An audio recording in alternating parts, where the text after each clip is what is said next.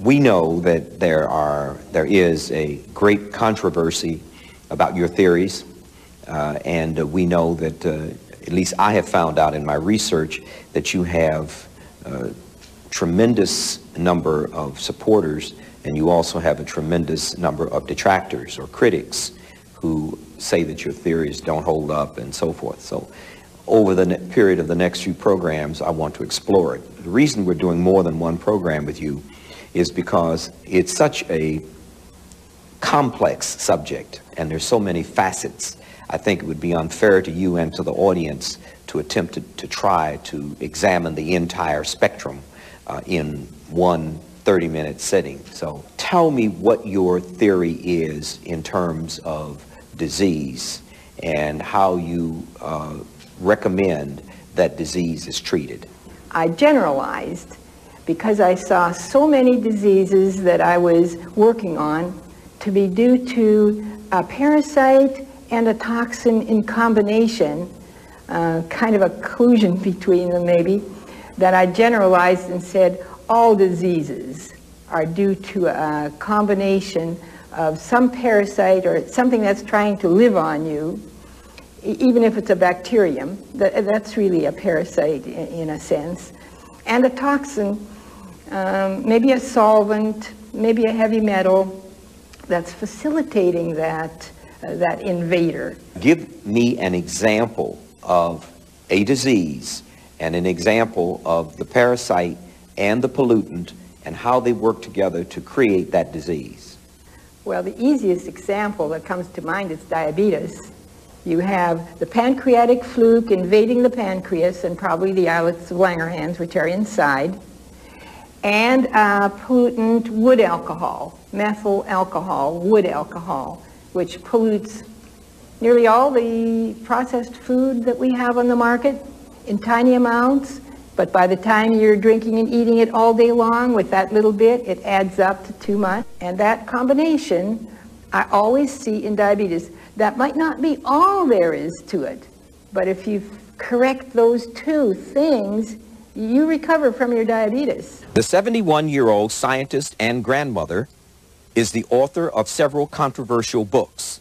The Cure for All Diseases, The Cure for HIV-AIDS, The Cure for All Cancers, and The Cure for All Advanced Cancers.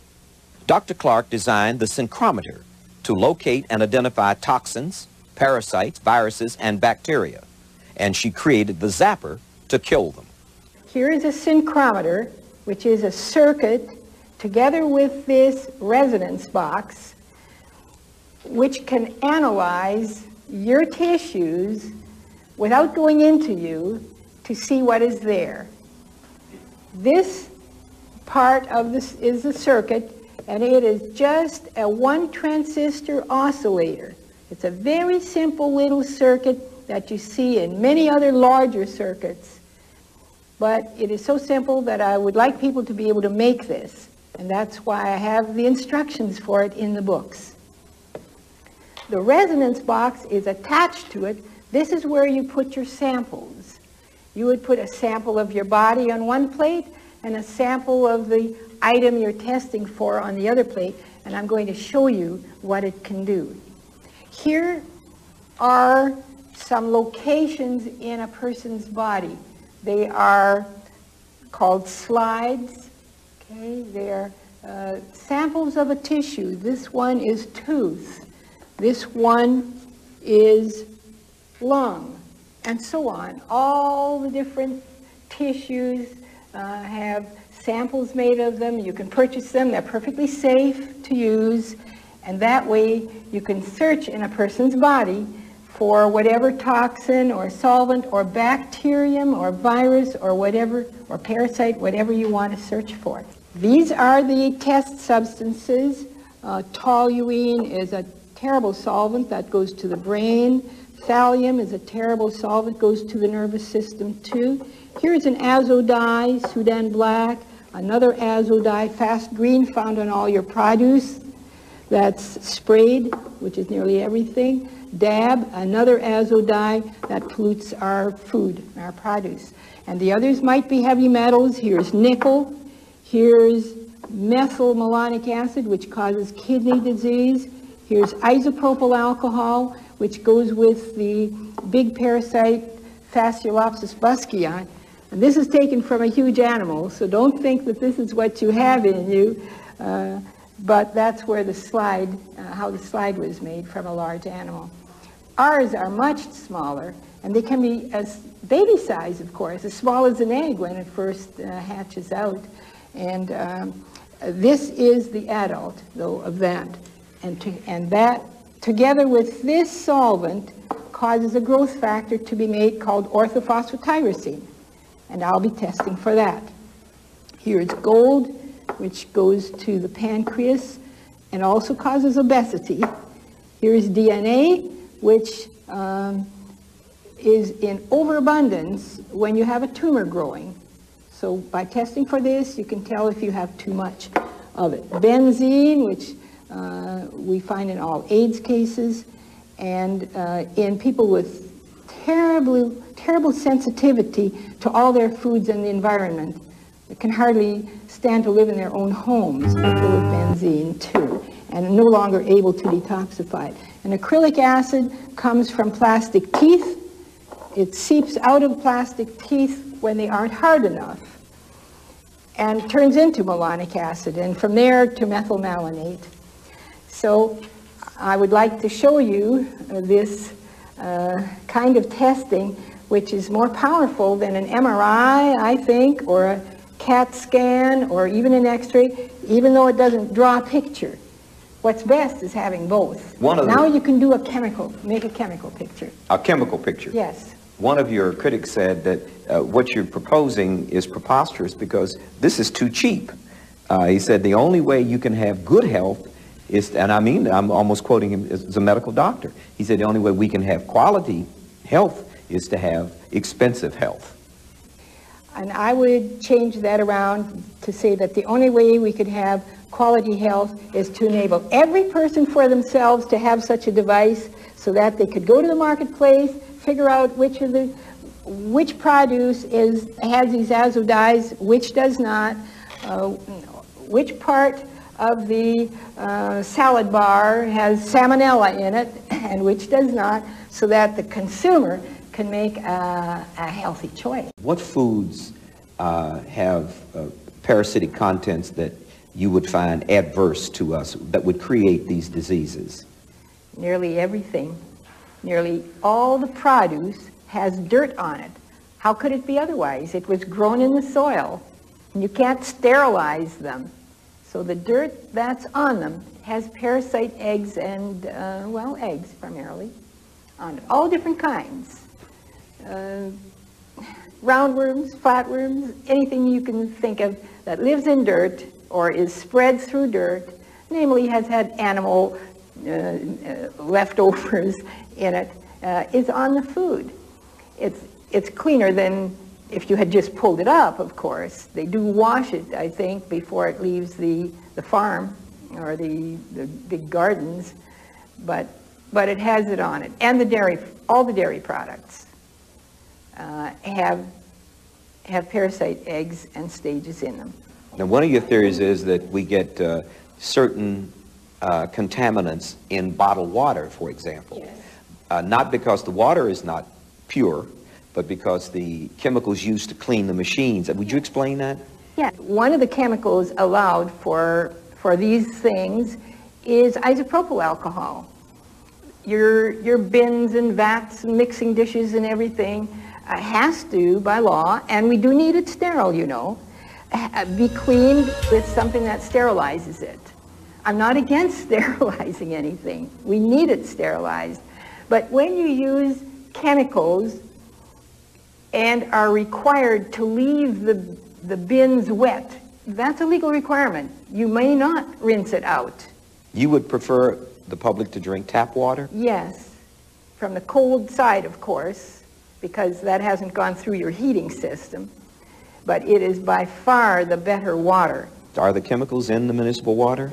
Yes, there are, but the levels are pretty low.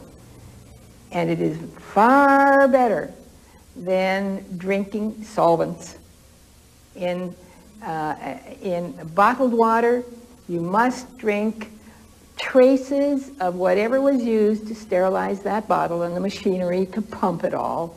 And that is often a solvent. With regard to uh, um, what we eat, you're proposing a pretty draconian adjustment in life, and that is uh, in order to look at pollutants. And normally when we say the environment or pollution, we think of the, of the sky, we think of the air. You really are talking about the elements in our environment, our furniture, the things that we use to clean our homes with, detergents.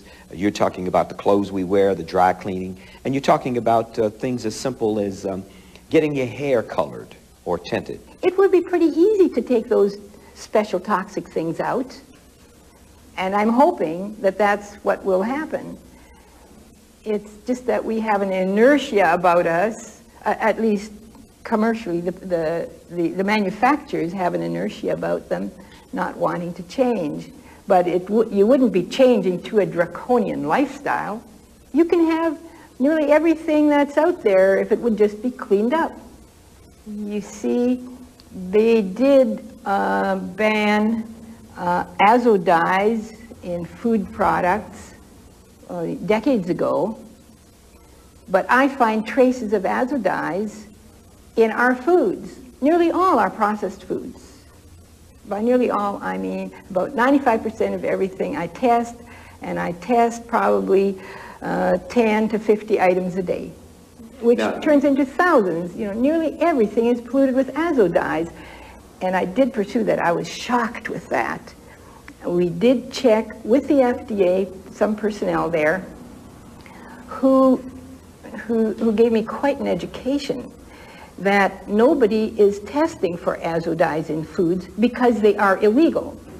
Well, why would a manufacturer run that risk if they are illegal? They aren't being put there. They're, they get in as a pollutant.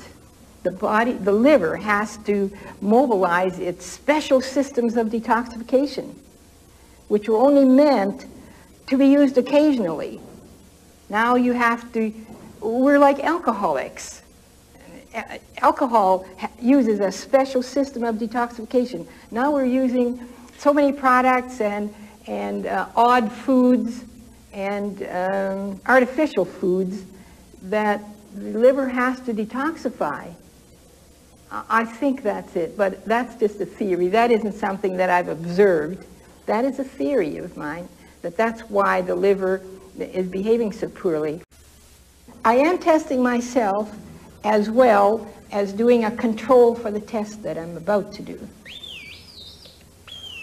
Identical.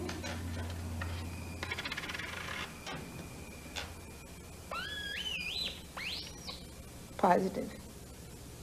So there's something on this plate that is identical with something on this plate. I don't think there's any other instrument ever invented that could do that.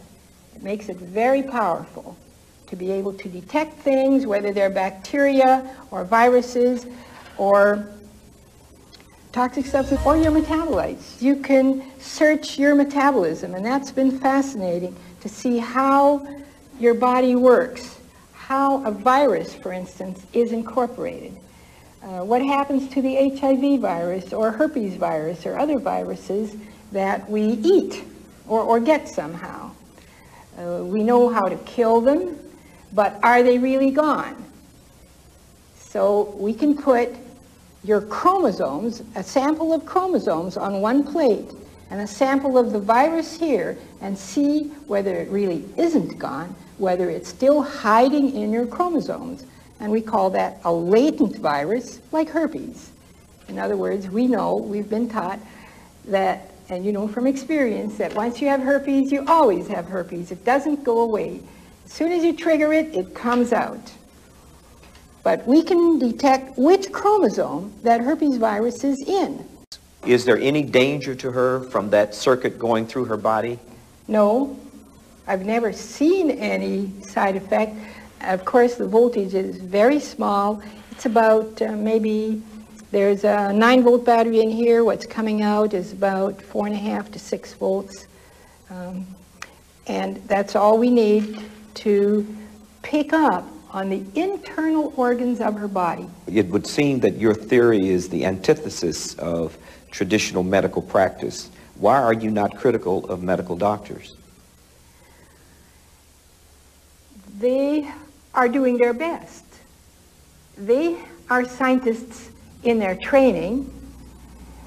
They can't apply their science. The system isn't made, they, they have to fit into their system, and it isn't made so that they can apply their uh, scientific training. They have to go by the protocols already in place for them, and they have to um, abide by that or, or, or, lose their licenses or somehow no longer be in that profession. How, how does the traditional practice of medicine differ from what you do? As night and day. I would look at a blood test and I immediately can see that here is a slightly high BUN, blood urinary uh, urea, blood nitrogen urea. Uh, and that lets me know that there's a high level of bacteria in that person. Yet a clinician would look at that and say, oh, it's not important yet. Uh, it's not over the top. It's not out of range at the high side. Yet I know that we have to go after some bacterial invasion. Now, there may be uh, an especially uh, diligent doctor who thinks that since it's near the top, you, sh you should go after it. And, the, and, and, and they have been trained to think that such a, a BUN value represents failing kidneys. So they would go after kidney support. Whereas my syncrometer data has shown me that it is not a kidney problem, that it's a bacterial invasion problem. And it's very easy to find which bacteria they are. You solve it in less than a week. Are you saying that your orientation is cure and the medical profession's orientation is treatment of symptoms. Is, is that yes, correct? Yes, I do. I'm, i think that is the correct distinction. Because if you are uh, uh, finding the real underlying causes of some uh, illness or lack of wellness, uh, then I think you're on the road to finding the cure. That it's a process difference. If you are looking for something that makes you feel better, makes the symptoms go away, you are looking for a treatment. Now this is at the heart of where your critics are. Uh, we're going to talk later extensively about your approach to cancer in particular and to what we call AIDS in particular. But they say that the people who uh, leave you, that you call cured, aren't cured because you don't see them again. Whereas in conventional medicine, they have a five-year window. And if, if there's a recurrence within five years, they don't call it a cure. Well, take an example. Supposing your disease, all disease, was a whole bunch of little red bumps, itchy bumps, say around your ankles and around your waist, and you gave uh, some kind of a lotion that instantly made them disappear. Um, it would be maybe a treatment, but supposing you found a cause and effect, like I would, and that made them disappear. And the person turned out to be flea bites. Okay, see, I found it was flea bites. They didn't find what it was, but they got rid of the symptoms. I have a, uh, hypothetically, I have a um, benign tumor. Bottom line, we should or should not be concerned about a benign tumor? We should be very concerned. Why? Because it tells us that we now have a dozen things in us that enables us to make tumors. Uh, and that one little one that we first see gives us that uh, information. It's the warning bell. And at that stage, we should begin to do what? Clean up. Clean up what? Our bodies? Get those dozen things that I find in all tumors out of us. How do we do that? You kill parasites because several parasites are involved. You get rid of all the dye, colored food, colored beverages, uh, and colored hair dye. Okay, you get rid of that. You, you stop eating asbestos. Stop Now, eating Eating asbestos? asbestos, it's a much more important thing than stopping to breathe it. We're eating it in all our produce, and we have to learn how to wash it off. It's pretty easy, but you have to do it. You have to stop having magnetic metals in your mouth. Stop sucking on metal. Now, why should we get the mercury out of our mouths? There's a very big contribution of metal, toxic metal, to cancer, tumor growth. And with such a bad uh, association to metal, it seems to me just obvious that we shouldn't be sucking on it all day, which is what we do to our tooth filling. Well, how would you recommend that we uh, uh, clean our bodies? In other words, if we have a warning sign or we don't have a warning sign, we just Yes. want to practice self-health. Uh, we want to have good health. What do we do? What you have a liver kidney cleanse program, do you not? you do this ancient uh, treatment whereby you cause the liver to push out what is in the bile ducts. And it should, of course, be bile, but often it's such poor bile, it isn't even green.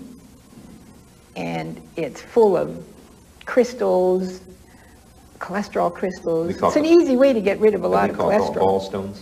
Yes, uh, that too. They're not the kind of stone that you might get out of the gallbladder when you've had surgery for stones. They look different and have and, and are calcified. Now, let's go back to the cleansing. We want to cleanse our kidney and we want to cleanse our liver. Yes, but it is better to do a kidney cleansing first because when your kidneys are in good shape and you've increased your water consumption to help them along, then the liver cleanse, which, which gives you a gush of all this terribly foul and toxic uh, material from the bile ducts, won't affect won't affect your body so much. See, what you pull out of the liver, this very toxic stuff, can spread into your bodies. You know, out come bacteria and viruses too. Uh, and if you have a good elimination system, especially the kidneys, then you never have a problem with it. You don't feel sick. Now, the liver is the organ that really discharges the toxins and the poisons from our body. So therefore, if the liver is not working, we're in, we're at the last, we're, we're in real serious trouble. Yes. Now, how do you, what are your steps? What do we use? For the kidney cleanse, I picked about a half a dozen of herbs that are easily available, you can order them easily, that are known already back to antiquity to help the kidney. Some of them dissolve kidney stones, not all of them. And some of them relieve pain in the kidney. Some are diuretic, which are good for you. That makes you Some- discharge uh, Yes, liquids from your body. Yes, and you're supposed to drink a lot with it, and you have, uh, in a way, cleaned up your filtering system, which is your kidney. And you know, say for a car filter, once it's clogged, it doesn't work very well, and you have to get a new one. Well, now you, you're real, real high on uh, black-green walnut hulls. That's a herb. Yes, And in combination with uh, two other herbs, what are they? cloves and wormwood. Uh, those three. Would you repeat them for me, please? Uh, they're the green hull of the black walnut tree nut and the cloves, just the same as you cook or bake with, and wormwood, which is an ancient uh, anti-parasite uh, treatment. Uh, those three. Now, I did some research, I've done a lot of research, and, and it verifies that there is research, a body of research, uh, as to the scientific usefulness of those three herbs. That doesn't mean that in combination they're going to do what you say, but there is some scientific uh, uh, history for uh, those three herbs. What do those three in combination do to the body, for the body?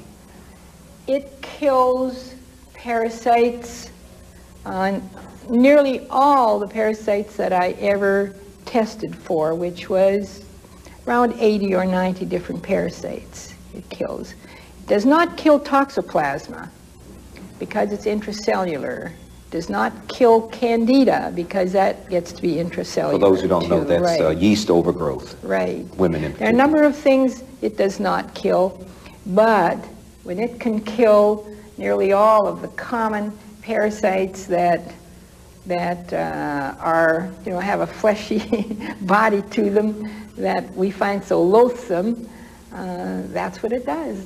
Do you make the claim that using those three herbs in combination cures cancer? No, I don't.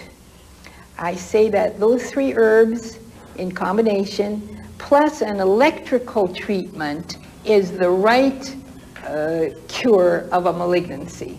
How, how are you so certain that, that each time you have cured the person? We use scanning techniques and we do blood tests.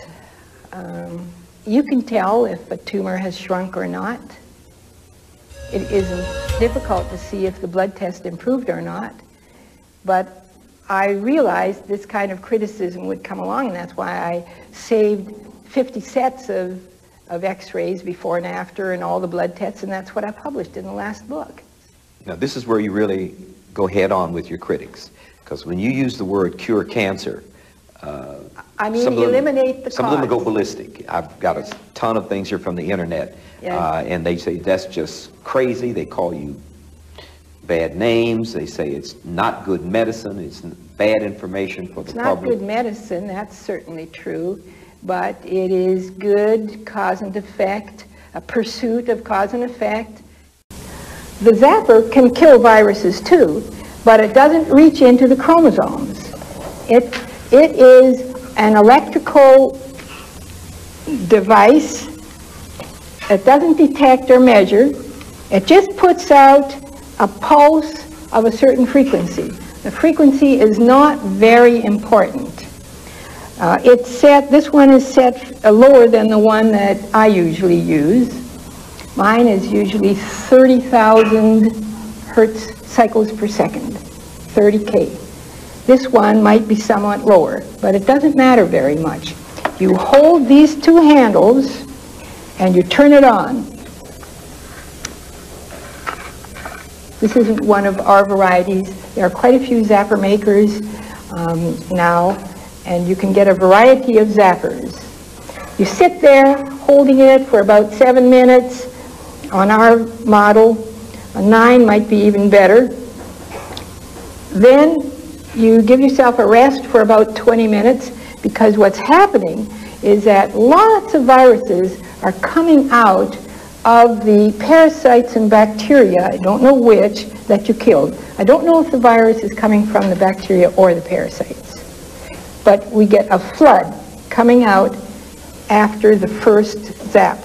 Then you do a second zap of another seven minutes or nine minutes. I have a um, benign tumor. I was worried. Uh, I found a lump in my breast, a woman would say. Uh, I had a biopsy. We found out that it was not uh, malignant. Should I be celebrating? Yes, because it hasn't progressed to the point of malignancy. But you shouldn't be celebrating very hard very long because you are at great risk for developing a malignancy in it. This uh, parasite, uh, Fasciolopsis buskii stages, will invade such a benign tumor. And after it gets going for a while, the tumor becomes malignant. The benign tumor is a much more complicated thing than the malignancy, and I, I worked for five years now working out uh, what causes the benign tumor. It's a whole different thing. It's really uh, mostly due to a bacterium, and so I call it the tumor-forming bacterium, Clostridium. It's a family of bacteria called Clostridium. See, there are about, about a dozen causes. You don't just kill this fluke parasite and other parasites. There are other additional causes. There is fungus growth there, bacterial growth, and oncoviruses are growing there too. And we have to kill them all. And when we do that and remove the major toxins, there are about three, that's all. Altogether, a dozen isn't really that very much. And if we remove all that, the tumor shrinks. And have you worked with anyone who you said, Tony, if you want to get rid of that uh, cancer, These are the five things that I want you to do. And if you do these five things, uh, I believe that the cancer malignancy will go away. Well, I do three of them. I don't do all five of them. So then my cancer doesn't go away. And then can I legitimately say to you, your treatment really doesn't work?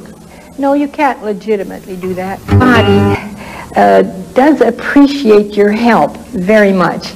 If you do, if you're in an early stage of cancer and you're still pretty healthy and you do half the things that I say you need to do, very often the body just takes hold and devours that whole tumor. Nickel, according to your book, is often found in the prostate of a male. Yes. Uh, nickel comes primarily from soil. No, although there's plenty of nickel in the soil, nickel comes primarily from your watch band, your metal glasses frames, and most of all from metal tooth fillings. Now, it also favors a particular kind of parasite.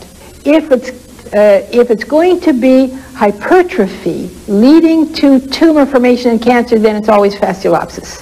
What parasitic name would you give kidney disease? I don't know a parasite for that, but the toxin is methylmalonic acid. Methylmalonate is the toxin. That derives from plastic. There is also, I think, an endogenous source that I don't, ha don't haven't studied enough yet. But plastic in your teeth is what makes methylmalonate. All kinds of liver disease is just a whole big collection of parasites in the liver. And the liver has lost its immunity. That's why you're getting hepatitis C and other liver diseases. By loss of immunity, I mean the same two things I mentioned before. Asbestos eating has caused coating of the white blood cells with ferritin. And the other immune lowering cause is magnetic metals. When you eat magnetic metals like thulium, gadolinium, lanthanum, erbium, terbium, 15 of them, magnetic metals, they ruin your white cell's ability to move around. The white cell has to be able to see its enemy and it has to be able to move around with great mobility to get its pseudopods out there to grab the enemy. Those are the two main functions. And when you knock that out with asbestos eating and knock it out with lanthanide eating, the magnetic metals, you have a loss of immunity. And that organ will fail. Alzheimer's disease. Yes. And the parasite, is that flukes? Fasciolopsis flukes. Now, Fasciolopsis buskii is also, is what kind of fluke? Is, is a fluke? It's a fluke, yes, meaning a flatworm. It's a leech. It's a tiny leech. And uh, what uh, pollutant is that with? Uh, xylene and toluene, two solvents that are getting more and more prevalent in our food and beverages, processed food. Over the years, we have presented programs debating whether HIV is the true cause of AIDS. Renowned virologist Dr. Peter Duesberg says that the so-called AIDS epidemic in Africa is actually caused by malnutrition and parasitic infections. There are 28,000 Americans dying a year of, of this. Now, we are told that there's just no way we can cure AIDS, but you're saying that you can. We could do it very quickly. We need to take the benzene out of our food supply and, and product supply, and probably for Africa, I think it's in their water supply. Tony Brown Productions produces this program and is solely responsible for its content.